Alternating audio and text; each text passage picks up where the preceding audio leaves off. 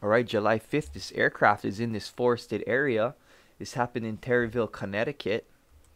It was this Cessna 185, tail number November 2423 Alpha. It was leaking 80 gallons of gas.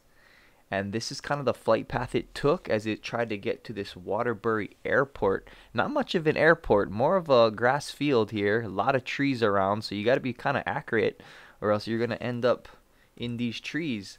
Um, you can see how high this uh, forested area is. So making access, you see you got the ambulance here, some firefighters.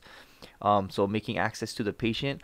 I believe because of this vegetation, it dissipated a lot of the energy which caused this pilot to just walk out. He just opened the door, look, not much damage to the cockpit.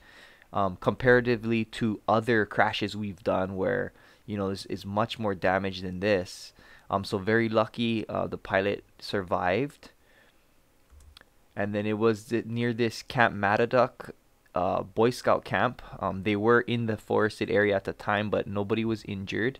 And then now you have to deal with how you're gonna get rid of that 80 gallons of leaking gas. So they have this environmental services that was called. Um, they're gonna go ahead and try. You can see they have to build roads, they have to dig these trees. It's going to take them a few days to even make access and try to get that aircraft out. So they have a lot of work ahead of them. And then here's a few more pictures of that company as they're coming into the scene. So if you want to keep up with this air aviation crashes, please uh, subscribe to the channel. It's a one of a kind channel if you ask me. If not, see you guys next time.